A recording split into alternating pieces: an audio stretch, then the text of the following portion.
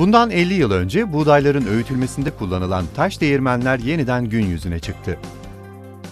Ankara'nın Polatlı ilçesindeki bir un fabrikasında kurulan taş değirmende tamamen katkısız buğdaydan doğal un üretiliyor. Fabrikayı gezen Polatlı Belediye Başkanı Yakup Çelik, Polatlı'nın Türkiye'nin en kaliteli buğdayını ürettiğini, taş değirmeninde insan sağlığına büyük katkı sunduğunu belirtti.